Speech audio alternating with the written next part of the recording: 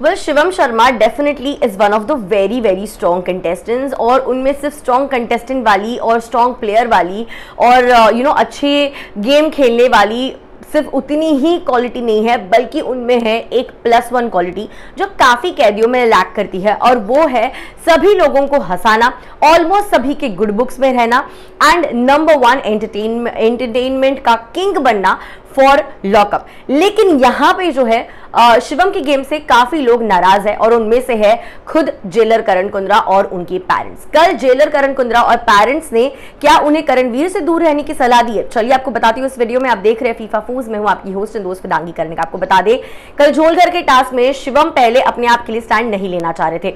He was like मैं बाद में करूँगा, बाद में करूँगा, अगले हफ़्ते लूँगा।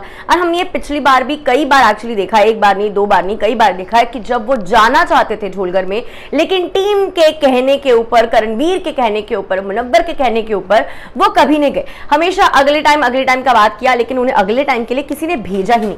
यहाँ पे करण कुंद्रा ने उन्हें बताया कि तुम्हें अपने लिए स्टैंड लेना पड़ेगा। तुम यहाँ किसी और के लिए नहीं, खुद के लिए आए हो। अगर तुम एक मीडियोकर खिलाड़ी बन के रहना चाहते हो तो बात अलग है। लेकिन finally he to stand for himself and जो तीन लोग झोलघर में गए थे, उनमें से one of them was Shivam Sharma. उन्हें चाहिए था वीडियो कॉल अपने पेरेंट्स से बात करने का मौका और पर्सनल वीडियो मैसेज उससे मिला। और यहाँ पे उन्हें सैक्रिफाइस करना पड़ा था उनके फ्रिज को जिन्हें उन्हें यू नो उसको बीवी बना दिया था। उनकी फ्रिज उनकी बीवी थी और know the way he creates content out of nothing is such a beautiful thing उसको देखने मज़ा आता है इतना।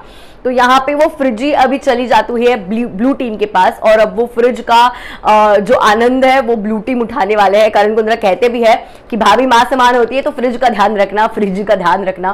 तो वो काफ़ी फनी था। लेकिन उसी के साथ साथ जब अपने पेरेंट्स से बात करने का मौका मिला पेरेंट्स का वीडियो मैसेज आया, तब उसके डैड ने कहा, तुम यहाँ पे खेलने गए हो, तुम काफ़ी अच्छा खेल रहे हो। उसकी माँ was also saying the same thing कि तुम काफ़ी अच्छा खेल रहे हो but you need to play for yourself और उसके पिताजी ने उसे सबसे बेस्ट सलाह सलाह दी कि तुम रथियों के साथ नहीं, महारथियों के साथ लड़ो। ये ट्रॉफी तुम्हें घर लेके आनी है और तुम्हें अपने आप के स्टैंड लेना है।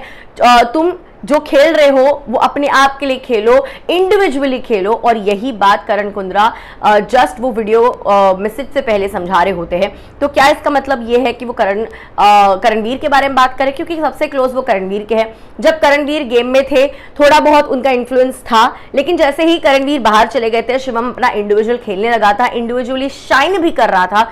खुद के लिए स्टैंड भी ले रहा था। खुद गेम में तहस नहस भी कर रहा था। कॉन्टेंट दे रहा था। मस्ती मज़ाक कर रहा था। एंटरटेन कर रहा था। लेकिन रणवीर के आने के बाद फिर एक बार शिवम थोड़े से ठंडे पड़ जाते हैं और अगर उन्हें शांत कर देते हैं करणवीर तो शिवम हो जाते हैं शांत। तो आपको क्या है लगता, क्या करणवीर से दूर रहने की सलाह करण कुंद्रा एंड उसके पेरेंट्स ने दी है? और उन्होंने जो कहा है कि आपको इंडिविजुअली खेलना है, रथियों, महारथियों के साथ लड़ना है, रथियों के साथ नहीं, बल्कि महारथियों के साथ लड़ना है। What's your take on it आपको क्या लगता, कौन है रथी, कौन है महारथी? Of lockup let me know in the comment section below I see you guys soon तब तक लिए टेक केयर